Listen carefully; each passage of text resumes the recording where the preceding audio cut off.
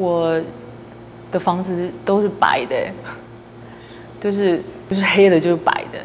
那少少一点黑，大部分都是白的，因为我很怕麻烦，然后我不喜欢局促拥挤的感觉，所以我房子浅色系的，那那那个会让我放松。